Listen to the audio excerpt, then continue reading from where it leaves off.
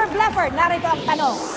Ayon sa NBA superstar na si LeBron James, anong animated movie daw ang nagpaiyak sa kanya? You know, ano? dalawa ang paborito niyang pelikula. Yung isa, yung Be Like Mike. Kasi idol niya dati si Michael Jordan.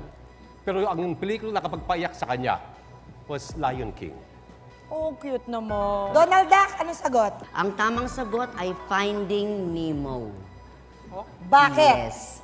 Kasi itong si LeBron James, bukod sa pagiging basketball superstar, mahilig din siya mag-alaga ng mga isda. Ayan. Oh. Meron siyang inalagaang tilapia na ano.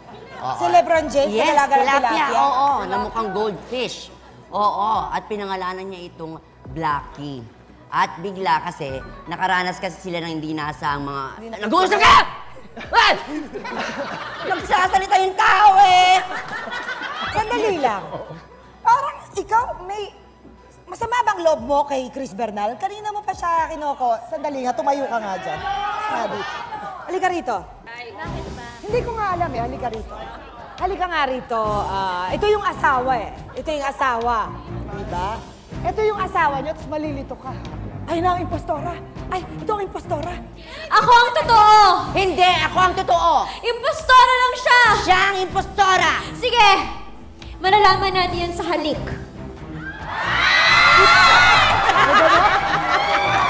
ano? What a very good idea! Mauna ka. o sige. Ay, saan ka pupunta? Huwag kang walk out. Umalis na. Umalis na yung asawa. Sino sa inyo ang asawa ko? Sa pamamagitan ng halik. Sandali muna! Bakit? Ikaw nagmamadali ka naman eh. Kayo na muna ang magharap. Ano ba Tingnan natin kung sino talaga sa inyo ang totoo. Sige nga. Wala naman. Sino ang nagpapanggap? Sino sa ating dalawa nagpapanggap? Nati, nati for. Sino ang nagpapanggap? Na... Ikaw!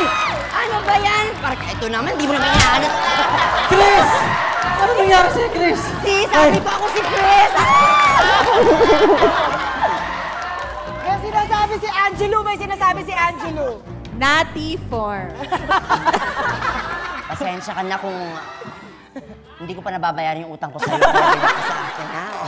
Sabi ko Babayaran na. ko lang pag nakaluwag-luwag ako, ha? Nati for without the hair. Sayang, yun na yun eh. Thank you so much. Daddy Jerry. Yun. Ako, sobrang NBA fan din talaga ako. And nakakatawa tong trivia na to. Nabasa ko sa NBA Magazine. Sa likod na may mga trivia. Trivia kay LeBron James na kung ano yung favorite song niya na tearjerker, nagpapaiyak sa kanya. Ano ba?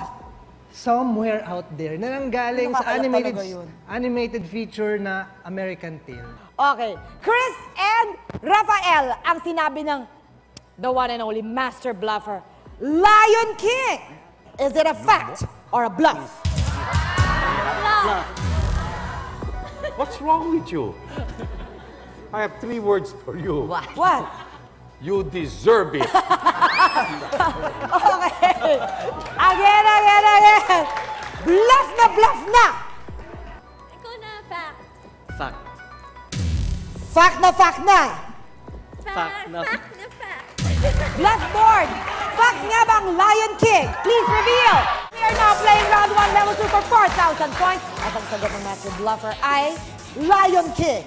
And you said fact na fact. Bluff board. Fact nga bang Lion King? Please reveal. Now!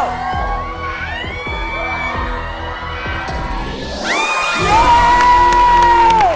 Ang animated film na nagpaiyak sa NBA superstar na si LeBron James ay, in fact, The Lion King.